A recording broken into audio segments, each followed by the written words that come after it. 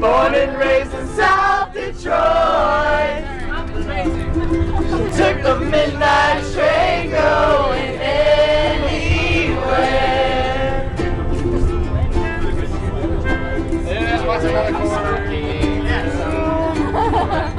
The smell of wine and cheap perfume. No, there's one way concern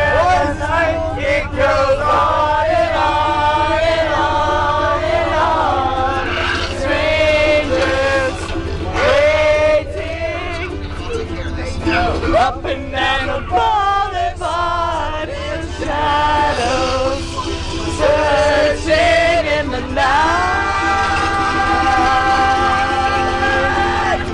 She lights people living the divine emotion.